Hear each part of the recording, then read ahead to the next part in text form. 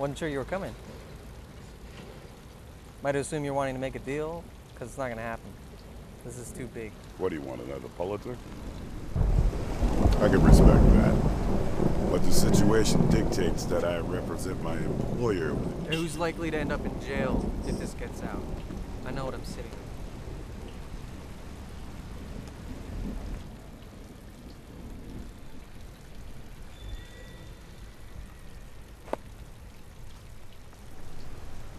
We negotiating?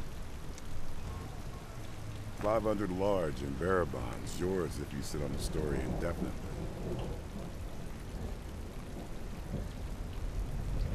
It's probably worth mentioning that the senator is willing to give you a hundred more each year you sit on the story and keep quiet.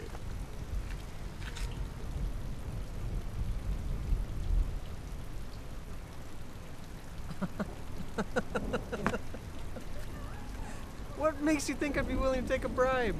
For measly half a million? He makes golden parachute deals all day long with all sorts of fat cats. No, no, no. So you can tell the senator, no deal. You know, I was willing to meet with you guys out of, out of respect for the journalistic process. Uh, maybe give you an opportunity to explain the senator's position, but a bribe like this uh, only spicifies the story. And you know what? I should probably thank you for that, but not for wasting my time. It would be in your best interest to listen to the rest of the offer.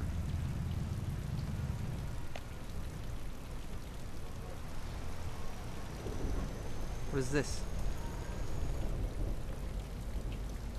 A well-documented night of, how does one say, love,